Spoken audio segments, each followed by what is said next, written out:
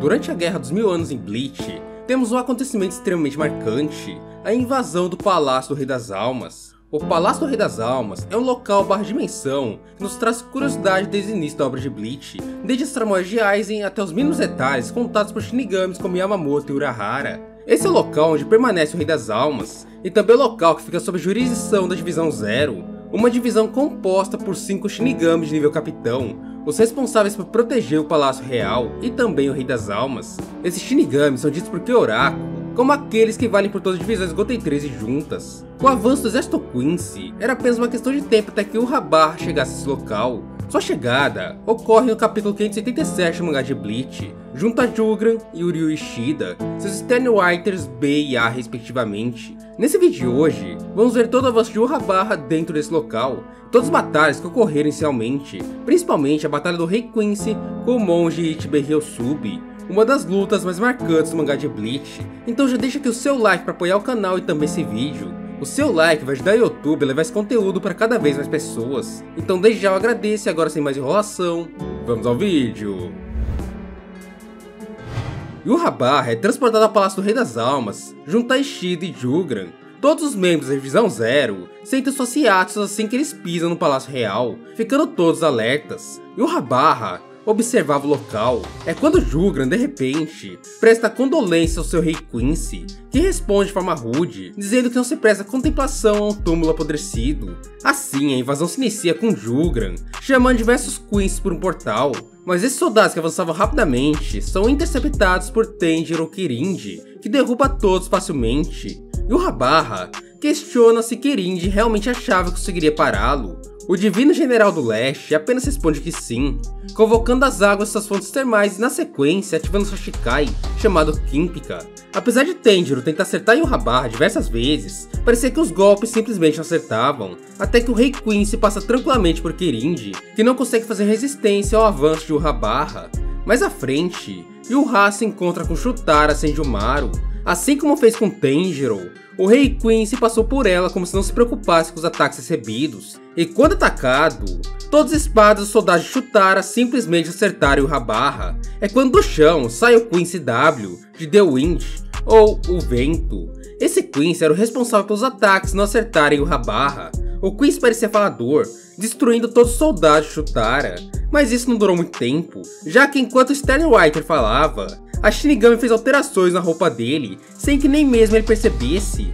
A túnica alterada por Senjumaru simplesmente perfura o Quincy de todos os lados, levando ele a uma morte completa. Agora restava apenas a Shinigami e o Rabarra. O Rei Quincy então faz mais uma convocação, trazendo mais soldados para enfrentar os soldados do Rei das Almas e a sua guarda de elite para enfrentar os capitães da Divisão Zero. Os guardas de elite eram os Quincy's M, X, C e D, respectivamente Gerard Valkyrie, Liri Barro, Pernida e Askin. Então a verdadeira batalha começaria agora. O primeiro a avançar contra Senjumaru é Gerard Valkyrie, o Quincy corta a agulha da Shinigami com sua espada. Chutar então convoca uma nova escalação para seus soldados, e um gigantesco soldado cai do céu. Pernida distorce o soldado matando, para surpresa da Divina General do Norte. Lily diz que ela agora deveria estar imaginando que o Palácio Real do Rei das Almas iria acabar ruindo. Esse seria o pensamento natural para aqueles que estariam prestes a serem derrotados. Em seguida, ele dá um tiro com seu rifle na cabeça de Senjumaru, matando a Shinigami. Ela cai de costas no chão, aparentemente morta. Após uma discussão com Garrett, Lily pede Pernido ajudasse a limpar o local, com Pernido distorcendo o corpo de Chutara fazendo ela virar um tipo de bola. Depois de uma limpa, o Quincy X pede que o Rabarra continuasse avançando, porque agora ele não teria mais problemas. Porém, nesse momento, a paisagem local se distorce e Senjumara aparece de pé, ainda viva, atrás de Lily dizendo que aquele ali era apenas um palácio falso, criado apenas para dar boas-vindas aos Quincy's. Então vemos Ichibei, um monge Shinigami, dentro do palácio real, sendo responsável por ocultar o local com sua Shikai.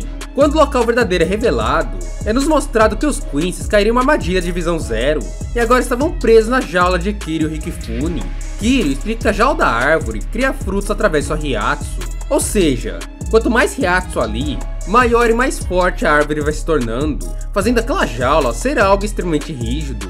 Assim, o Shinigami Oetsu Nimaya chega para enfrentar de frente os Quincy's. Junto a ele estava um aquário gigantesco, com uma Zanpakuto dentro. Ao sacar aquela espada, o Shinigami anuncia agora o início da batalha verdadeira.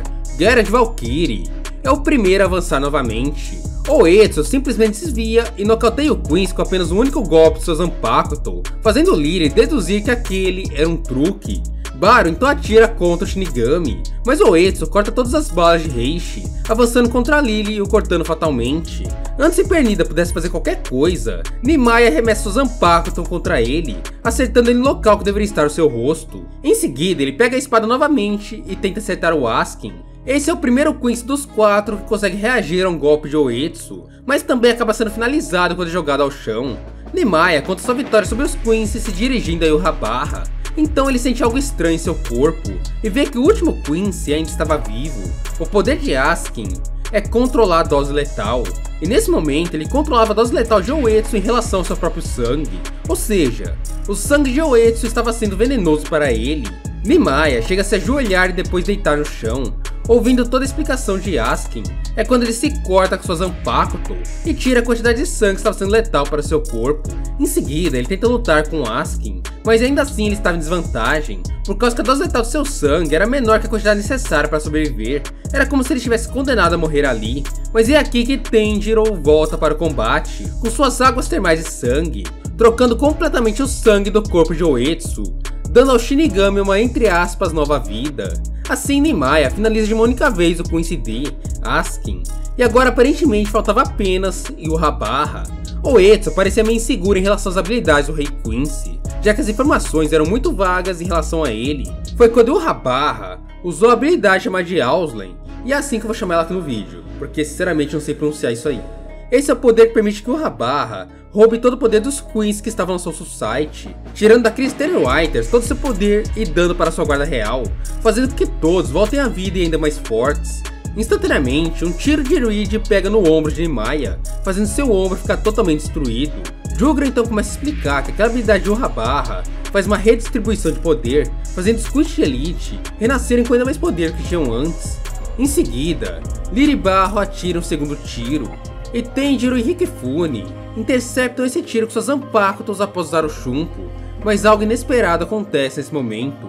O tiro do Quincy simplesmente atravessou suas Zanpakutos, acertando diretamente no peito de Oetsu, o atravessando e matando o Shinigami. Agora a guarda real dos Quincy's iria lutar com o resto da Divisão Zero, no caso Kiryu Rikifune, Tenjiro e Senjomaru, enquanto o Habarra avançaria sozinho para chegar até Ichiban e Ryosubi, para uma verdadeira batalha pelo Palácio do Rei das Almas. E o chega à área do monge, o chamando pelo nome, e Ichiben se levanta e diz que o Rei Quincy não deveria falar seu nome tão casualmente, pois sua garganta poderia acabar sendo esmagada. Em seguida, Ichiben faz uma demarcação no chão da área, dizendo que aquela ali seria a área onde Barra seria derrotado, enquanto o Rei Quincy responde que ele morreria três passos antes disso. Assim que o Rabarra termina de falar, Ichiben faz um desenho de um selo, e uma grande mão aparece batendo contra o rei, o arremessando para longe, uma distância de aproximadamente 4 mil quilômetros. E o Rabarra tenta falar durante o arremesso, mas sua voz simplesmente não sai, fazendo o aviso de Ichiben se tornar uma realidade. E novamente a mão aparece arremessando o Rabarra por mais 4 mil quilômetros. No meio da pancada, o rei Quincy com suas próprias mãos as enfia em sua garganta, reativando assim a sua voz, voltando a poder falar. Em seguida, ele atira seu arco santo contra Ichiben, com uma flecha passando no meio de seu corpo. O monge agora acaba ficando irritado e decide que a melhor opção seria matar o Rabarra. Os dois então cruzam suas espadas e o rei Quincy observa que Ichiben parecia extremamente empolgado depois de decidir que iria matá-lo. Quando Ichiben acerta o Rabarra com seu Zanpakuto, o rei Quincy se protege com seu braço, tendo o nome dele cortado ao meio, passando a chamar apenas Bra, com suas capacidades sendo diminuídas pela metade, e o Rabarra pôde senti-lo mais pesado. O Rei Quincy tenta um contra-ataque, mas agora ele era mais lento, então ele tem seu nome cortado ao meio, passando a se chamar apenas Yuha, sem o barra. Ichiban ainda com seu rosto empolgado, resolve provocar o Rabarra, perguntando como era o grandioso rei dos Quincy's estar sendo esmagado com metade de seu poder para o odioso líder dos Shinigamis. E o responde com empolgação, se levantando novamente para o combate. O rei Quincy diz que tudo que existe no mundo é feito para ser roubado por ele, então nem mesmo Ichibei poderia tomar esses poderes, jogando contra Ichibei um gigantesco ataque com a manipulação do Reishi. Ataque esse que o monge segurou com suas mãos. Ryosubi diz que apenas não queria tomar todo o poder do rei, ele havia sido benevolente com ele, apenas não querendo manchar a reputação dos Quincy's, matando Yuhabarra com seu poder máximo. Ryosubi então avança novamente contra Yuhabarra, usando o poder chamado Ryapo Rankan. Para se defender, o rei Quincy usa seu Bluto Vene Ayaten, uma barreira de Bluto. Ichiban então usa o Hadou oculto, invocando o gigantesco dragão Sorriatsu.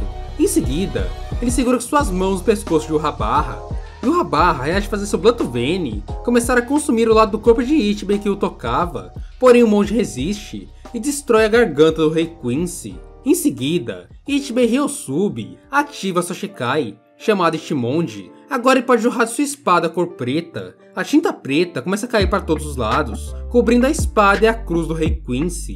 É aqui que Ichiban explica sua habilidade. Tudo que a Ichimonji pinta de preto acaba perdendo seu nome e naturalmente perdendo seu poder. E o em uma atitude desesperada, invoca o altar sagrado para tentar roubar os poderes de Ichibei.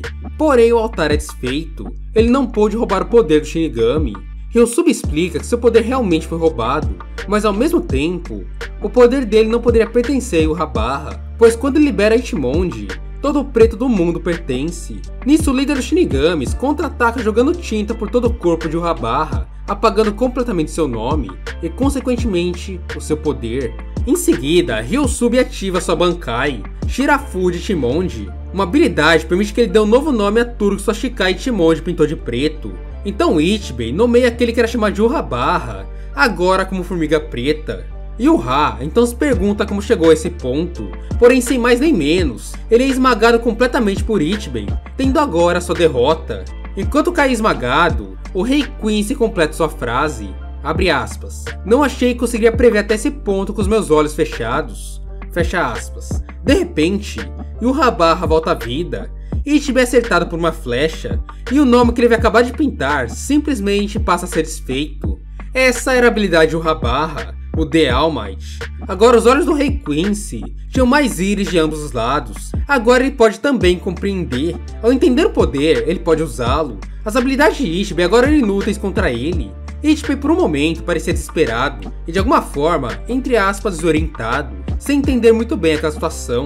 Então ele parte para uma cartada final, Ryosubi usa uma técnica chamada Futen Daisatsu Ryo, uma técnica que sacrifica 100 noites futuras do seu society em troca de criar uma lápide eterna para Yuhabarra, onde após a morte, ele jamais seria capaz de renascer novamente, se afundando na escuridão da punição eterna. Porém, nada aconteceu, o Rabarra ainda estava lá, e sob as seguintes palavras, abre aspas, Tudo que eu enxergo está ineficaz diante de mim, então ainda acredita que meu nome não significa nada demais?